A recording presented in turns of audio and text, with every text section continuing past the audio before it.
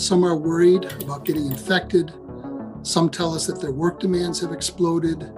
Some describe feeling lonely because of the relentless isolation. Some have described the agony of losing a loved one or a patient whom they cared for.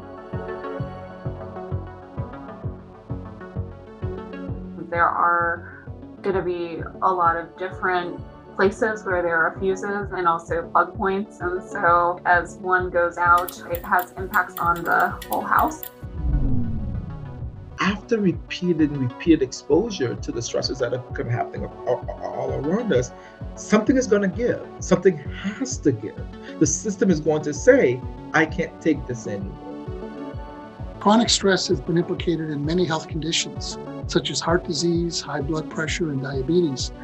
But stress's effect on mood and behavior can lead to other serious diseases such as obesity and cancer, although that effect is indirect. For example, stress can increase food cravings or the use of tobacco or other drugs to reduce stress in the short term, but which can have devastating long term health effects. We have to think about one, recognizing the signs and symptoms that we're getting to the breaking point. Two, before we even get there, kind of be able to, to take some proactive steps to help us not get to the breaking point.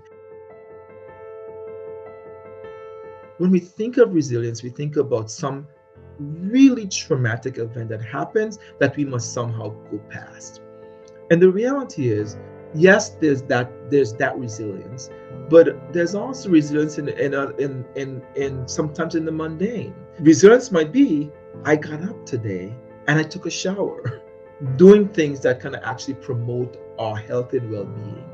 I was part of a group that worked on um, providing town halls for stress and resilience. So we opened the town halls to community members as well as members in the Yale community to talk about issues that they were experiencing with regard to COVID 19 and also uh, their lives.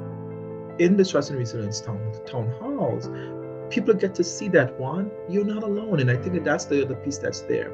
The things that we've been talking about, because we've been socially isolated, because we've been cut off from our normal sense of supports, we think that we're the only people that's going through this.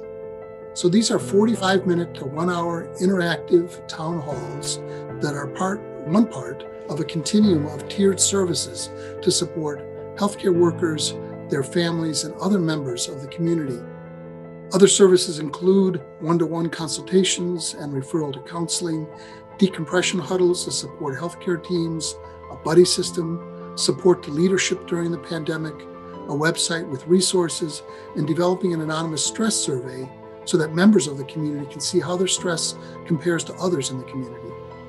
Even as folks get better, it's um, this grief period that folks might have experienced, stressors that could come up that uh, really endure beyond the period of the pandemic. So it'll be really important to continue to watch out for symptoms um, and or experiences that are developing related to mental health. You are not alone. There are people around you who are here to support you, to help you manage through these issues. There's a reason why many people say, what doesn't kill you makes you stronger, because it can be true. Everyone experiences stress, but everyone can be resilient.